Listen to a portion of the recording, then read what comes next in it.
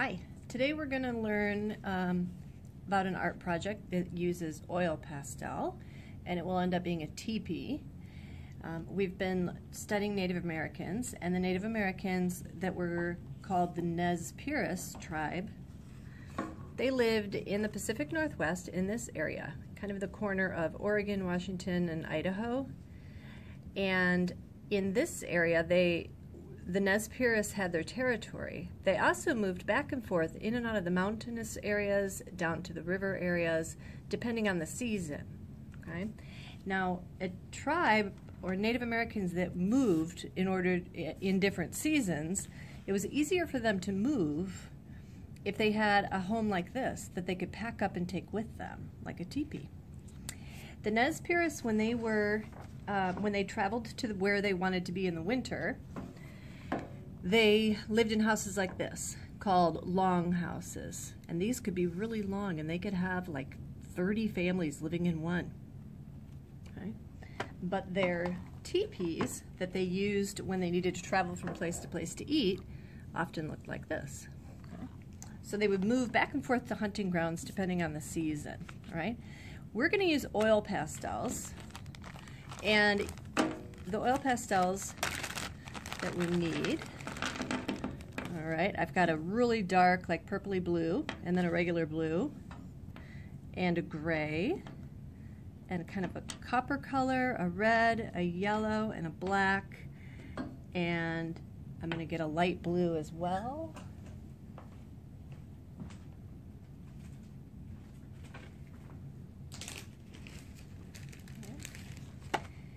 And the way we're going to start our picture, and it's okay if you need to use different colors as well, um, you can be creative about this. It's going to look like a teepee at night. The sun is setting, the moon is out. Um, there's a light from a fire coming from the inside of the teepee. Teepees are not triangles, but more like a cone shape. And because the sides are made of fabric, they kind of droop a little bit. So I'm going to have it come out like this and droop a little bit. And then I'm going to make this side. Okay, now those are not ending in the same location. Okay, I'm going to make these look more like fabric. Okay, and this will be my opening to my teepee. All right. Now, in order for the teepee to stand up, there would be these posts in um, holding up the fabric. Oops, should be straighter than that. I'm not pressing real hard. I'm going to make these posts kind of connect to where the fabric looks like it's being tied down. Okay? Now this is just my background sketch. I'm going to put my moon here, pretty big. I'm going to make a, kind of a mountain range here behind my teepee. Okay? Now I'm ready for my color and I'm going to start with my yellow. The reason I'm going to start with my yellow is because once I use dark colors, it's hard not to get the, the colors to smear together, okay? So I'm going to fill in my moon. The cool thing about oil pastels is that they're actually paint, like a paint stick, and they cover an area really well. They're more liquidy than a crayon, okay? I'm also going to put in my, my red here where my sun is, along here.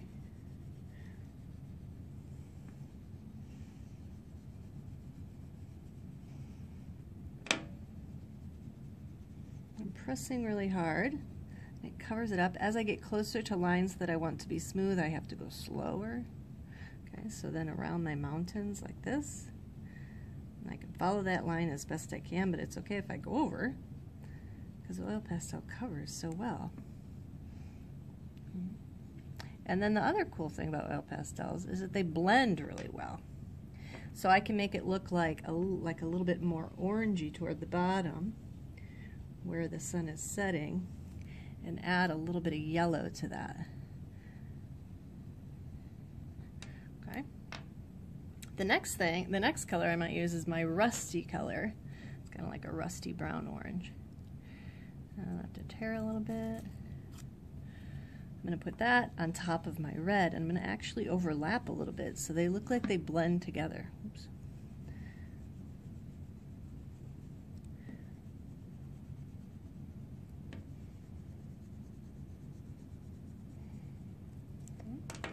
And I'm going to use a light blue. Do the same thing. I'm overlapping it a little bit.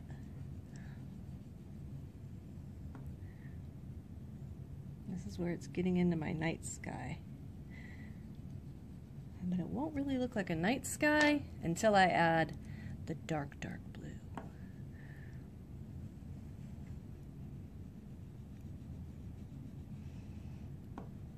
Okay, go smooth around my moon.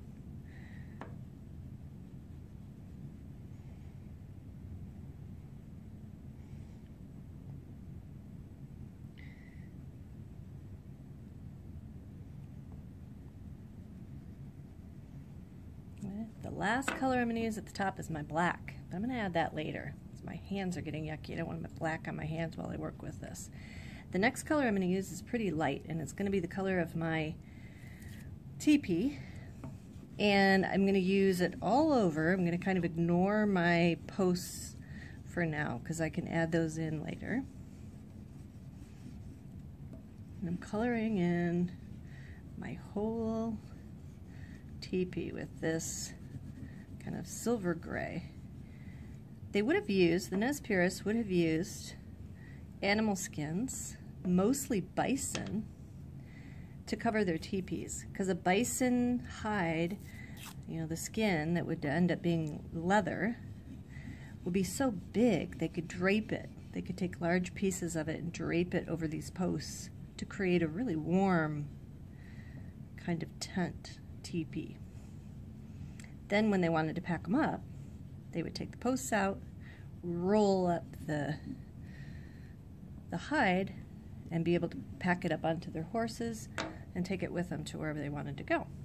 Right now, I'm going to put um, black where my I'm ready to put my black in, but I'm going to add a little bit of blue here.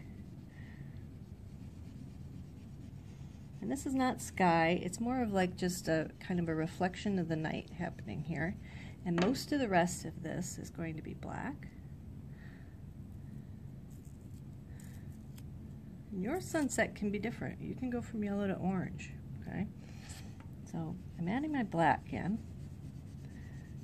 And I overlap my blue as I go, but not my orange, because that's where the mountains are hitting the sky. The sun is setting behind those mountains. Okay.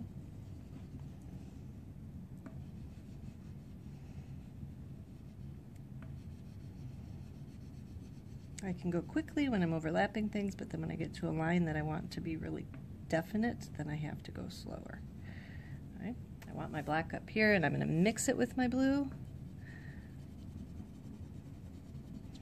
And it's not mixing very well up there, so I'm going to pick my blue back up and mix those together.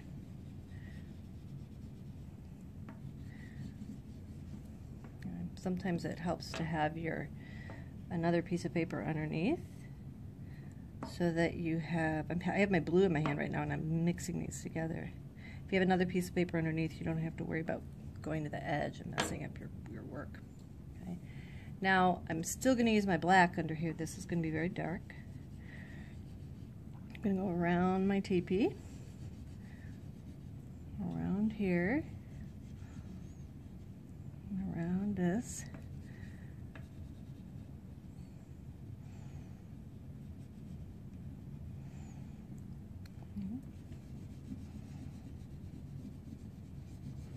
You may have received a really small piece of black in the materials that you got. You're just going to have to be careful with that. It's not a lot of black to go by.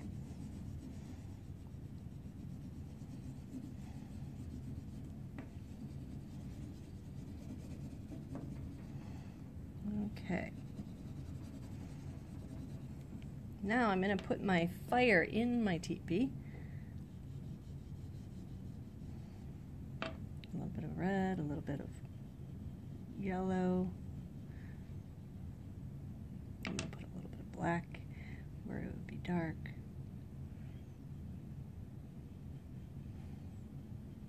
And if I pick up my yellow again, I can blend these all together to look more like fire inside there. Okay. Now my posts aren't showing, so I'm going to make a definite lines where my posts are. as best I can. Okay.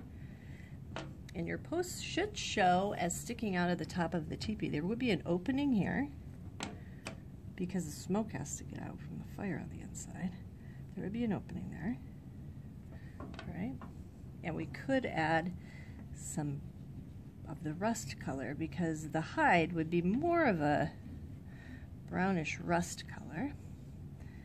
And the posts might be wood and stick out a little bit more there. The cool thing about oil pastel is you can kind of go over what you do and fix it the way you want it.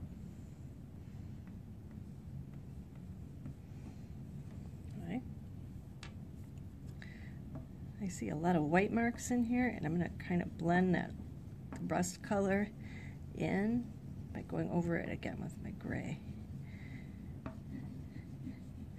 Same thing with my posts. I'm just keeping it all in the same direction. I left a room in white at the bottom that is kind of convenient for putting my name right? Oh, and I would like add actually to make my, my moon look a little bit more 3D, I'm going to add just a little bit of a curve here and then go over it with my yellow. You make those curvy shadow lines.